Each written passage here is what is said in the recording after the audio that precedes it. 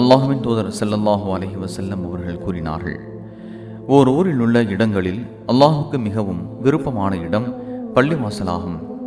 ஓர் ஊரில் உள்ள இடங்களிலேயே அல்லாஹுவின் வெறுப்பிற்குரிய இடம் கடை தெருவாகும். இதை அபு அலி அல்லாஹ் அவர்கள் அறிவிக்கின்றார்கள். சஹி முஸ்லிம் ஆயிரத்து நூற்று தொண்ணூறு